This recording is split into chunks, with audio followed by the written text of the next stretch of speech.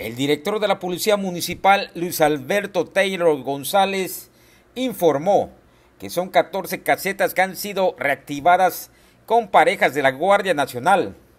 Trabajan en coordinación con la Policía Municipal, donde los habitantes de las colonias pueden acercarse y manifestarles incidencias o personas ajenas a las colonias.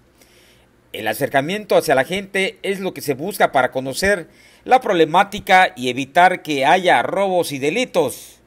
Son 14 casetas las que ya están funcionales, eh, las cuales corre la seguridad del área por parte de la Secretaría de Marina y la atención al público por parte de la Policía Municipal.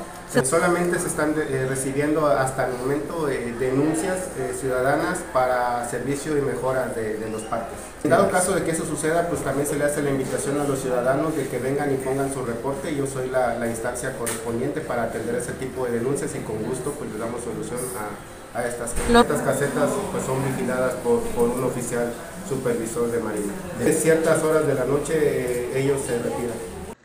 Para Canal 10, Jorge Q, imágenes, Iván Maldonado.